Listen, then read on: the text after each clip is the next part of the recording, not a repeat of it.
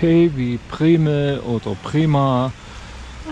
Was gibt's denn hier Feines? Am 8. Mai gibt es hier was, am 8. Mai. Gibt's hier was? wir hier an diesem Parkplatz, an dem Wanderparkplatz Schlossmühle, Niederlauterstein mit dem Frühlingsspaziergang 10 Uhr an. Jawohl. Ja? Einheimische sagen oft Lauterstein, die äh, kürzen das ab, das Niederlauterstein. Und keine Bange, auch wenn hier andere Schilder stehen, so. Also Lauterbach bringen wir nicht ins Spiel. Ich meine den Ort Lauterbach. Wir fangen hier an mit dem Frühlingsspaziergang. Anmeldung ist auch beten. elbe.online.de Zum Beispiel. Aber wir sind halt Dissima, Heinrich Dieter und Sigrid Markstein. Und da könnt ihr auch schreiben info at heidissima.de. Können wir schon anrufen. 0172 3704 714.